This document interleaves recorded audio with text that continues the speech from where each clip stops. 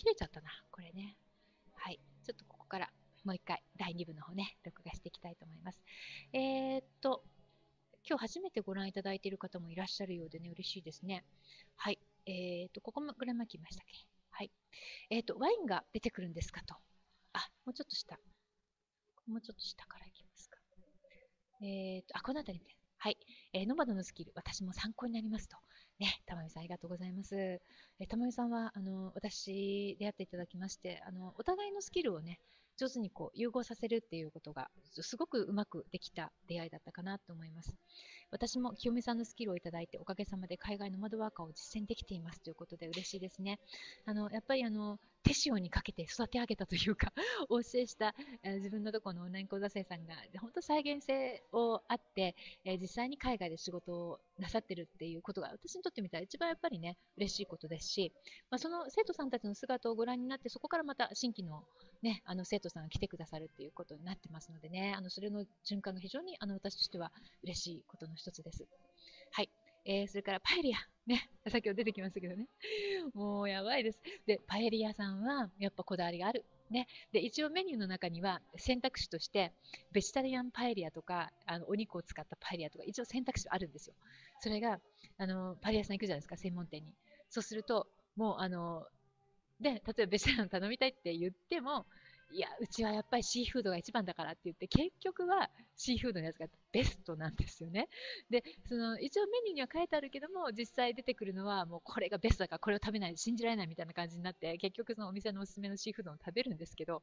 やっぱりベスト。ね、やっぱパエリアでね、あの、ベジタリアンっていうのはちょっとやっぱ邪道かなと思いますから、皆さんスペインにいらっしゃった時にはぜひ、もう魚介類たっぷりのね、あの、パエリアを召し上がっていただきたいなと思いますね。はい。えー、続いて、美味しそうということでね、三浦さんありがとうございます。あの、東欧のルーマニアもね、あの、美食の国ですけれども、ヨーロッパもね、まあ、フランスも本当料理美味しいと思いますけども、スペインは負けず劣らず、やっぱこの国の人って食べることにものすごい情熱を持っているから、あの、昨日なんかも、あの、ちょっと野菜が食べたいなと思って、えっ、ー、と、いわゆる日本でいうとこのシズラーみたいな、野菜のサラダバーみたいなとこ行ったんですよ。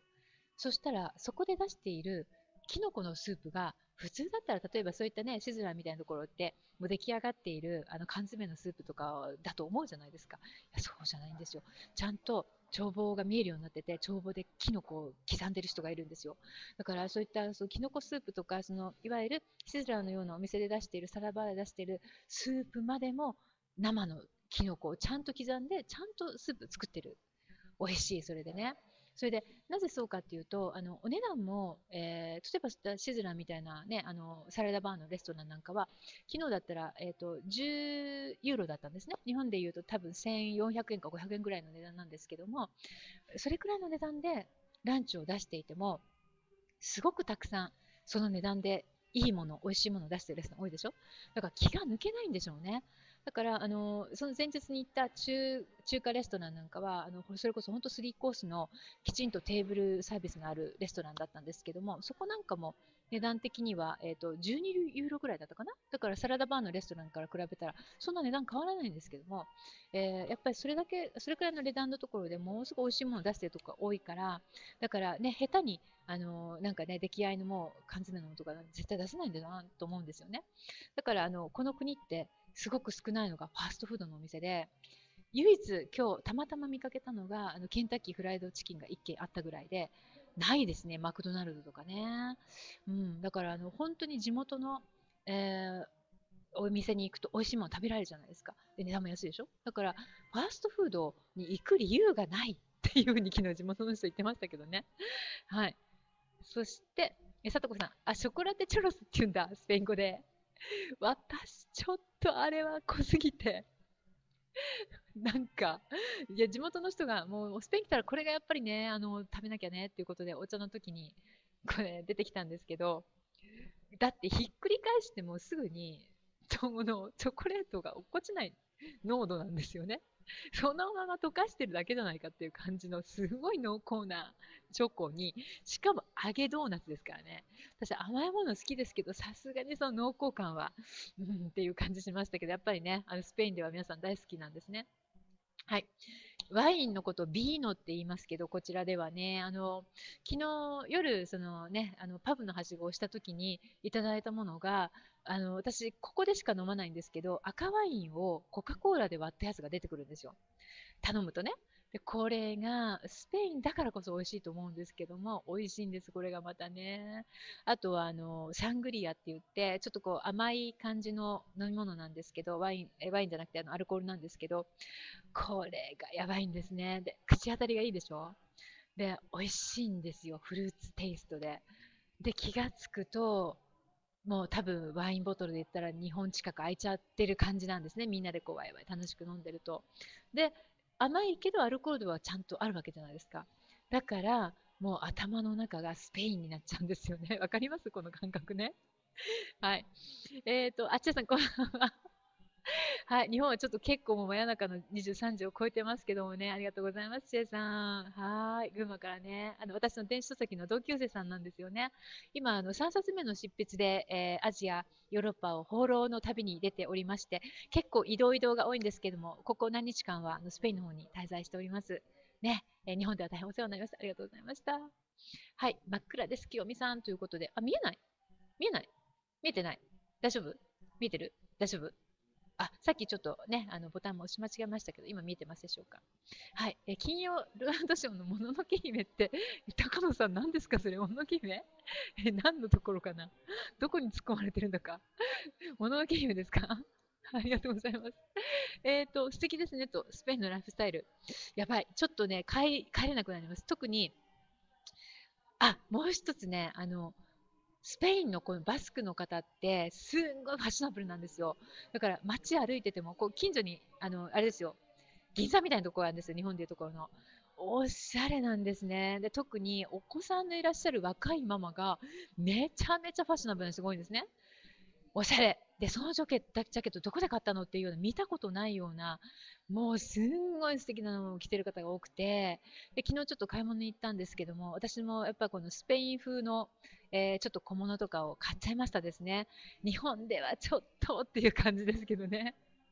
はい。えっ、ー、と、見えたということで、あ、今大丈夫ですか？はい。闘牛。ね。ちょっと今日、今日の午後ね、あの、すごく気になるポスターがあったので、えー、大きなあの教会のある広間のところにね、ものすごい衝撃的なポスターがありましたので、今日はあのそちらの方を午後あのレポートしに行っていきたいと思います。はい、えー、反対派が多いんですねと、人と牛との生死が行き交う、えー、緊迫の瞬間と思っていましたと、生死が、えー、出し物な時点でどちらにしても残酷ではあるかということでですね、あのやっぱりこのスペインの方ってあのものすごくパッションというか、フラメンコなんかもすごい情熱的ですよね。だからそういった意味であの皆さんもイメージされるときにフラメンコと闘牛ってやっぱスペインのこう象徴的なものになると思うんですけども、あの実際この国に来るとみんながみんなそうじゃないんだなっていうのが分かりますし、あとあの特に私が今あの滞在しているのはスペインの国の中にあっても北のスペインなんですね。でこの地区っていうのはスペインでありながらバスク地方という独特の文化を持つところでスペイン語とバスク語と2つあるんですよ。それで街の中のローカルの方ってスペイン語じゃなくてそのバスクの言葉を使っている方が多いんですね。だから、まあ、いわゆるまあ地方の方言の一つになると思うんですけど全然スペイン語と違う言葉を使っている方が結構多いんですけどもそんな意味でそのバスク地方の方ってスペインの中にありながらも自分たちの独自の文化をものすごいこう伝統を大切にしている方が多いので面白いですよねそういった意味ではね。だからあの日本の中でも例えばえアイヌの方とか琉球の方って独自の文化を持っていたりしますよね。それにちょっと近いのかなっていう感覚がありますね。はい。えー、動画も楽しみにさせていただきますと、池上さんありがとうございます。ね、あの、動画は本当にどこを歩いてても絵になるところが多いので、すごく、あの、クリエイターとしてはワクワクしますよね。こう自分のすごいクリエイティブな部分っていうのがすごい刺激されるんですね。それであの前回あのこちらの方を旅した時もそうだったんですけども、えー、まああの市内を回るバスがあるんですね。でそのバスに乗ると、えー、まあ、その英語でですねガイディングを聞きながらえー、この国の、えー、この町のですね、この教会はどんな歴史があるかっていうガイディングがついてくる観光バスがあるんですけど、それ一周するとですね、1時間ぐらいかかるんですけど、明日はお天気もあの結構いいので、それに乗ってもたくさん素材を取ってこようと思ってます。で、あの、私、このバスクになんで滞在してるかっていうと、自分のあの、旦那さんのえー、親戚がこの国に住んでるんですね。なので、あの本当にその地元の人しか知らないところとか、地元の人が大好きなところっていうのも連れてってもらうことができるので、そういったあのディープなね、このバスク地方のレポートなんかできればいいなと思ってます。はい。えっ、ー、と、池上さんありがとうございます。ね、ぜひ、あの、来てくださいね。私、あの、ほぼ毎日何らかの形で、えー、ソーシャルメディアで発信してますし、一番自分が得意なのが、このライブ発信スタイルなんですけども、えー、なるべくね、日本の方の時差と、えオーストラリア、あ、オーストラリアじゃないか、スペインの時差と、えあんまり厳しくない時差の時には、こうしてライブ配信もしていきたいと思っています。はい。えっ、と、それから、高野さんありがとうございます。遊びが仕事になるシステムと、結局は楽しいっていうのが一番得意なことなんですよね。そう。で今日も2つ仕事がやってきましたけどこれ本当嬉しかったのはあのドンピシャで例えばあのソーシャルメディアの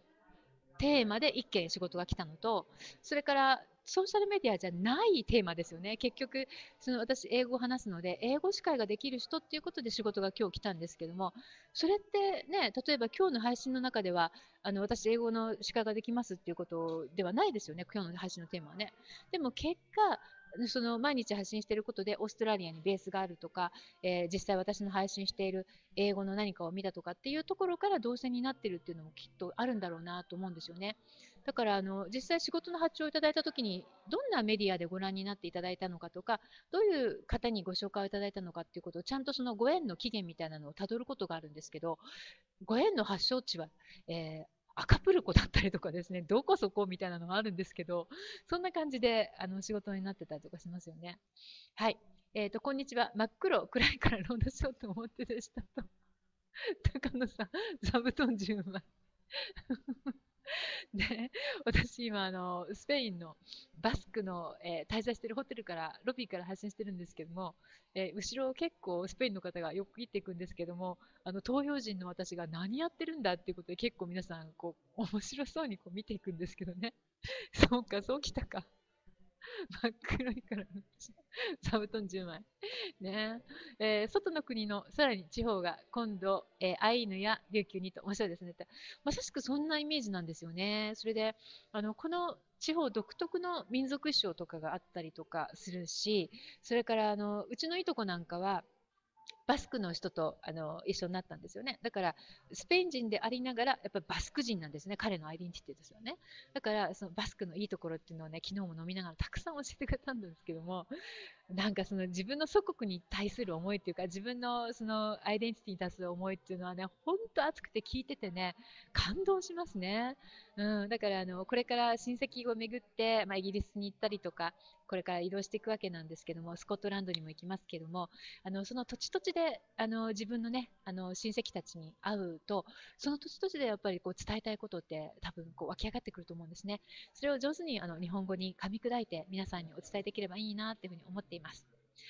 はい。ということで今日はあっという間に1時間30分経過いたしましたけどもね、いつも皆さん本当に長くお付き合いいただきましてありがとうございます。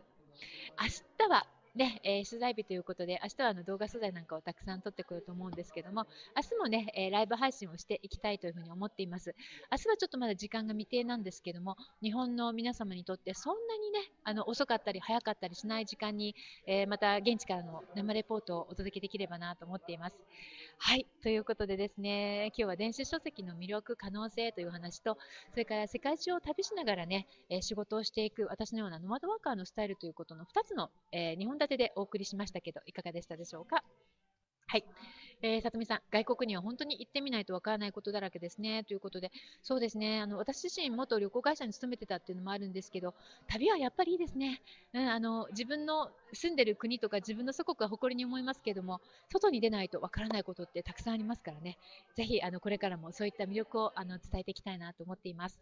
えー、それから、すいさん、世界中に、えー、ご親戚がいるっていいですね。ということで、そうですね。まあ、うちの旦那さん自身も、もともとのオリジンが、お母さんがアイルランド人、お父さんがスコットランド人、そしてうちの旦那さんがイギリスで生まれたということもあって、えー、さらにそのね、もともとあのオリジンをたどるとスペイン人のそ、えー、先祖がいたりということで、まあ、ヨーロッパいろんなところに親戚が分散しているということで、今回はその親戚を訪ねるという意味もありましてですね、私自身もすごく楽しみにしています。はい。ということで、また明日もライブでお届けしたいと思いますのでね、ぜひあの楽しみにしててください。